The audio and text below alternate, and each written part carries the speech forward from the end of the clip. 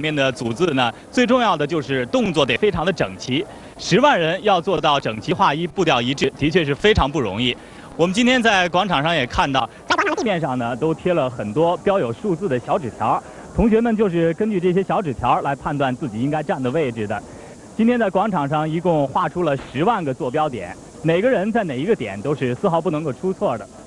那么现在距离庆典开始还有一段时间，我们可以看到学生们正在原地待命。那么他们每个人面前呢，都竖着这样的一根塑料杆儿，十万根塑料杆整齐地排列起来，远远地看去，整个广场上是非常的壮观的。这个塑料杆呢，就是同学们一会儿要用到的道具之一。呃，这位同学你好，请问一下，你们的道具除了这个塑料杆之外，还有别的什么？嗯，还有这些纸花。能给我们演示一下怎么用吗？嗯，可以。先把道具花从花架上取下来，然后这么一翻，就我们的就是红花，然后再一翻。就是所需要的黄花，放好之后把它往花架上一插就可以了。那么这个塑料杆的作用就是保持这个图案的整齐，是吧？啊，对，因为这塑料杆都是一样高的，所以虽然同学们身高不一样，但是呢，这个画面上看也比较整齐了。这个道具都是纸做的，你们有没有考虑到要是翻动过程中坏了怎么办？啊，坏了，我们像它就是我们的道具，就是我们的替补队员啊。如果我们道具花坏了，他们会拿他们的替那个备用的花来跟我们换的。这位同学你好，呃，那参加这样的一个庆典呢是非常有意义的一件事情。那么一会儿庆典结束了之后，你们最想做的是什么呢？呃，呃，我们想回家马上看家里人给我录的像。嗯，我们在表演的时候，每个人都只是这图案之中的一部分，所以到现在为止，我们都没有看到过自己组出来的图案和字是什么样子的。我和同学们都迫切的想看到这十万人表演这种壮丽的景象吧。所以，嗯，就是我们回家以后第一件事就是看录像。我想现在可能我们的家人都在电视机前，嗯，都在看我们的表演，不知道到时候能不能在录像上看到我们。现在大家已经看到你们了，好，谢谢啊。好，观众朋友，俗话说呢，梅花香自苦寒来。这十万名师生，他们的成果呢，却是在盛夏的骄阳底下苦练而来的。今天也是他们把成果展示给大家的时候了。我们预祝他们成功。好，现在请我们下一个报道点的记者为大家介绍一下今天接受检阅部队官兵的体检情况。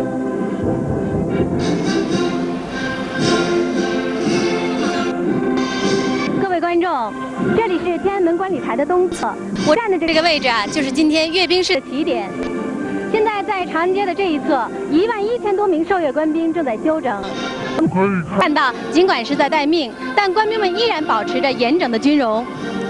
呃，整个受阅部队从这里开始呢，沿长街一字排开，队伍的长度差不多有两公里。今天受阅的车辆方阵共有二十五个，其中大部分装备是新面孔。新型的坦克、战略导弹等一批高技术武器，集中展示了我军近年来现代化建设的成就。受阅的徒步方阵共有十七个，其中预备役、海军陆战队、武警特警部队是首次亮相，他们都是一九八四年以后新组建的军兵种。今天，我国完整的武装力量体系将第一次展现在世人面前。各位观众，阅兵式之后啊，就是群众游行。现在呢，在我的对面，一部分游行群众已经坐在那里了。呃，大家现在看到穿白色服装的是国旗方队，共有一千零八十人。他们将举起一面巨幅国旗，走在游行队伍的最前面。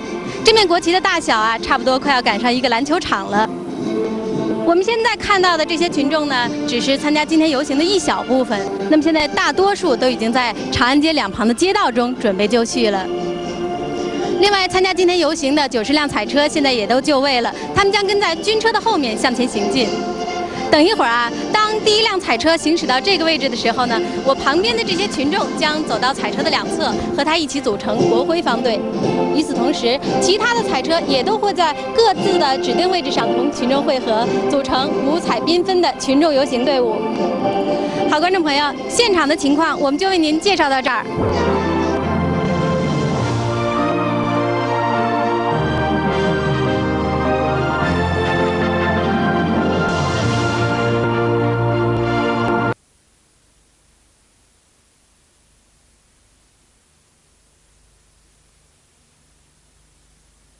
款戎装的三军将士。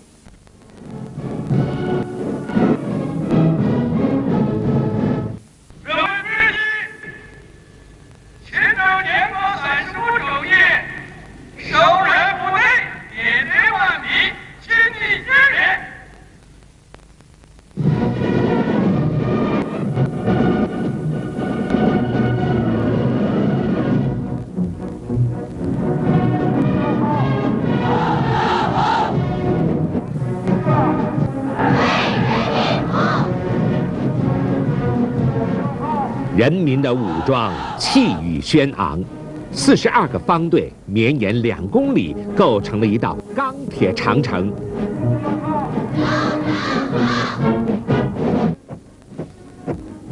建国以来规模最大、装备最新、机械化程度最高的大阅兵，可以在人民军队的史册上写下浓重的一笔。二十八种受阅装备全部是中国自行研制，其中大部分具有现代水平乃至世界先进水平。战略导弹部队是首次向世界亮相，向全世界显示了中国的力量。在随后的群众游行中，人们仿佛看到了中国前进的脚步。小岗村的联产承包责任制拉开了改革的序幕。总是善于创造历史的中国农民走在了队伍的前沿。深圳特区的建设和变化仿佛大鹏展翅，一日千里。荣获三连冠的中国女排，让中国人民的心中增添了几分民族的自信。改革开放后的中国变得让人感动和惊奇。这一天，所有的人都在为中国的成就和力量喝彩，而对改革开放的总设计师邓小平，我们的人民献上了一句最朴实却又最深情的问候：“小平，您好。”